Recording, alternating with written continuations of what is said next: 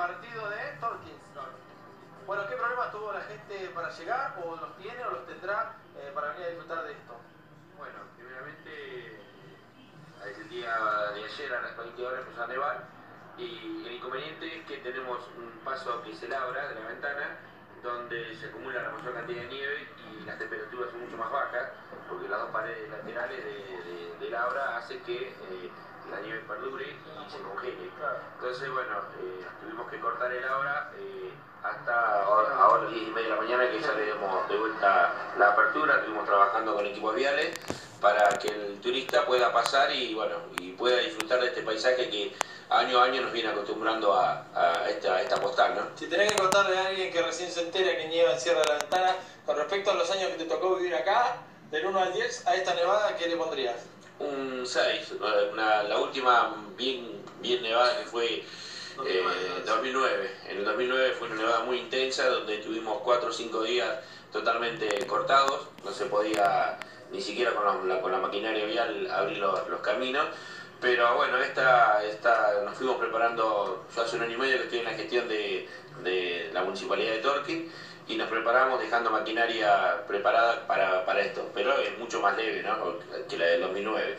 Pero bueno, eh, el turista, la, la, gente que viene de la zona es una vasta zona y, y todos vienen a disfrutar con sus chicos y, y a jugar con la nieve. o sea que hoy pueden venir Sí, con precaución, viajar con precaución porque aparte de nevar la temperatura está muy baja y se congela eh, el asfalto y bueno, tenemos que tener precaución. ¿Hubo algún reporte, alguna complicación? No, gracias a Dios no. Solamente, bueno, gente que, quería pasar, que venía, que tenía que venir, llegar a la gruta, por ejemplo, que estaba en Villa y bueno, tuvimos que hacerla pasar con bomberos, con camiones de 4x4 y, y traerlo a su lugar de a su vivienda, ¿no? Pero nada más que eso, gracias a Dios no tuvimos que lamentar ningún accidente. Vos decís Villa, para vos es algo familiar, para seguramente Edgardo Antoñana también, pero estamos con, con Gonzalo, que nos va a poder explicar qué significa, qué es Villa eh, y cuántos lugares podemos visitar por acá, que deben estar todos igual, me imagino, Gonzalo. Así es, José. Nosotros estamos ahora en, el epicentro de, la comarca serrana,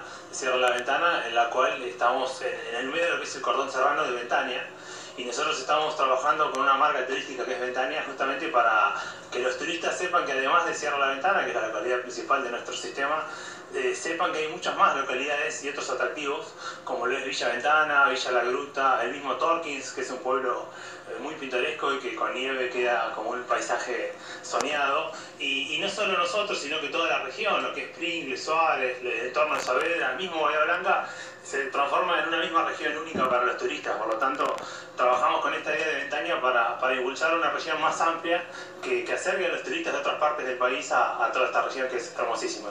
¿Qué, ¿Qué tiene de lindo esto? Contámelo vos tratando de ser lo más imparcial posible. Y nosotros contamos con atractivos que van desde las sierras en sí mismos, todo lo que tiene que ver con el trekking, las cabalgatas, eh, los eh, de 4x4, los cuatriciclos, eh, tenemos paseos guiados históricos y culturales, todo lo que es la obra de Salamone, en nuestro distrito hay muchas obras de, Salamone, tenemos en el Parque Provincial Ernesto Torkins visitas guiadas y autoguiadas que, que recorren desde atractivos naturales como la garganta del diablo el ascenso al hueco ventana hasta arte rupestre, hay una visita con arte rupestre también muy linda, también está Sierras Grandes en Sierra ¿Cómo, ¿Cómo, se llega acá desde, por ejemplo, Buenos Aires? Pongo siempre el ejemplo porque para que uno tenga la idea.